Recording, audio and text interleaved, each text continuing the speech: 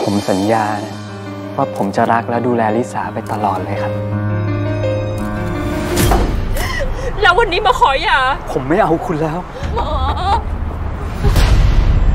หมอ ฉันขอเธอนะลิสาชีวิตฉันไม่ได้ขาดผู้ชายแล้วจะดิ้นตายขนาดนั้น นอนกับฉันนะ สามีไม่รู้เหรอครับว่ามาซื้อเด็กแบบนี้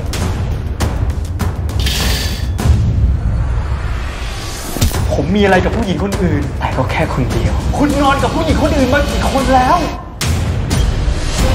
แกจะเอาอะไรมาชนะฉันลิสาอย่ามายุ่งกับเมียผมแต่สิ่งที่เกิดขึ้นมันไม่ใช่การเอาคืน แต่มันคือเกม